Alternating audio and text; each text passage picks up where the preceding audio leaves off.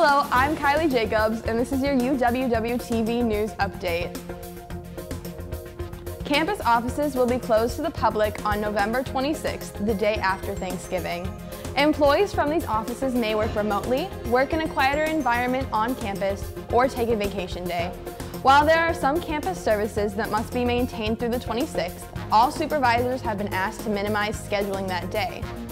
Students are reminded of the shortened academic week during the week of Thanksgiving.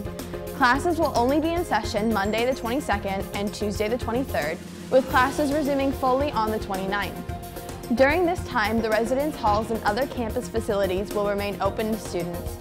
Following the Thanksgiving break, students are in class for three more weeks, with their last day of class prior to finals being December 10th.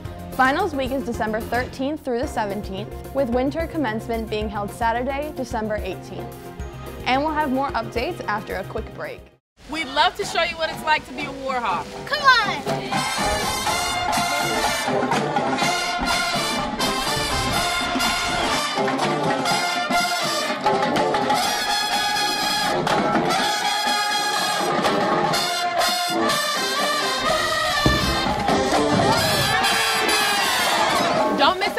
Chance to be a Warhawk. At UW Whitewater.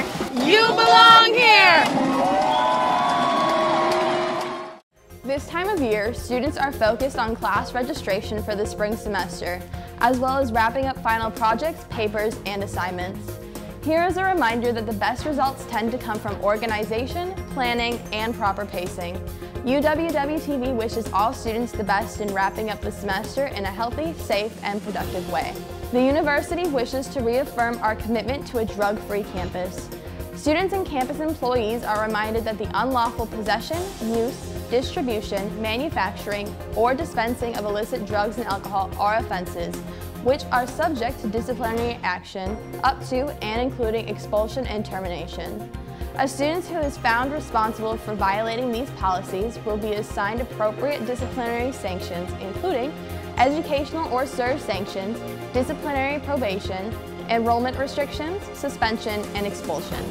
Students at UW Whitewater, including the Rock County campus, will be assisted in connecting with drug or alcohol counseling, treatment, and rehabilitation or reentry programs through university health and counseling services.